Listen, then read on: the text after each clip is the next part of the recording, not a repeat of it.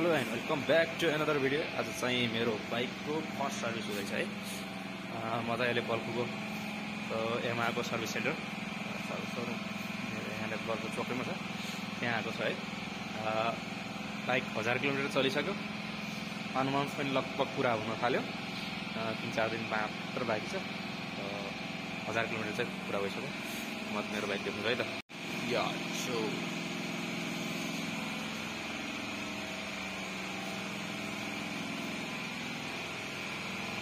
यसको यहाँनिर चाहिँ स्टिकर हानेको ट्याङ्कीमा पनि हान्ने हो। र यस्तो छ यहाँनिरको माहौल। र सर्भिस हुनेछ। सबैजना आइसकेपछि मेरो सर्भिस हुनेछ है। यहाँ पुरै सर्भिस चाहिँ धेरै छ। क्युआरसी छ। यहाँ चाहिँ ठुलै छ सर्भिस सेन्टर चाहिँ। Thank you.